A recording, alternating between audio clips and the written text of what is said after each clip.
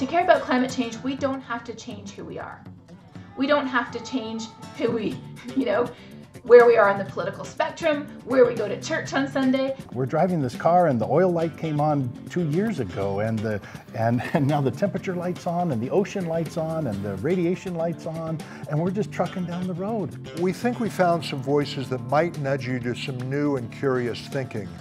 Beginning with a woman whose growing national impact comes from her credibility in two supposedly conflicting worlds.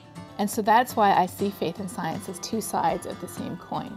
If we're a human, which most of us are, if we live on this planet, which most of us do, I was in search of somebody, anybody, who's doing a good job of reducing that polarization. if we want a safe and secure environment in which to live, then those are the only values we need to care about climate change.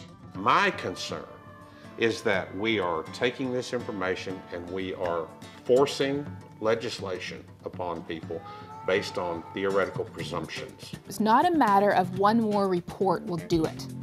One more national climate assessment, hmm. that's what will solve the problem.